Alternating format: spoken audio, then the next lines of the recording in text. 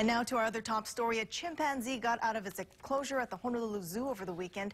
And it's the second time in three years this has happened. And this time, the city says the animal created a finger hole to climb right onto the top of that wall. We wanted to know how this could happen again and what changes zoo officials will be making this time around. Sarah Madison tonight live in front of the Honolulu Zoo with the latest. Sarah. Howard and Marissa, now zoo officials fixed and smoothed out the wall Puiwa used to climb out the first time. But the zoo didn't change everything, so Puiwa used another side of the wall to climb out again. We wanted to know from zoo officials why everything wasn't changed the first time Puiwa escaped. This is the back wall Puiwa scaled to get to the top. You can see an electric fence around the perimeter, but that didn't stop Puiwa. Officials made changes the last time Puiwa escaped three years ago.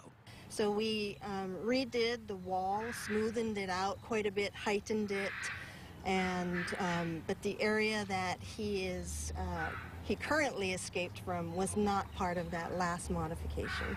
We did look at the entire exhibit and this area was smoothened already. It's just that he damaged it. Zoo officials say they inspect the chimpanzee exhibit every day. Now that Puiwa was able to get out again, officials are looking at heightening and strengthening the exhibit walls. Uh, we know we do have to repair the concrete.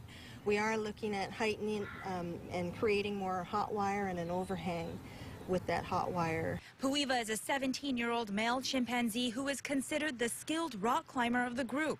Now that he has escaped a second time, we asked what will happen to Puiwa. He is one of the males that we are looking at for trading out for breeding um, with the SSP, the Species Survival Plan. Officials say if they decided to send Puiwa, he's not leaving because he escaped. Now, all eight chimpanzees are currently held in their day pen where they're being taken care of and have plenty of activities to do. The chimpanzee exhibit is still closed. We don't know when repairs will start and how long that will take. We also don't know how much everything's going to cost. We'll let you know when we get those answers. Reporting live from the Honolulu Zoo, Sarah Madison, KHON 2 News.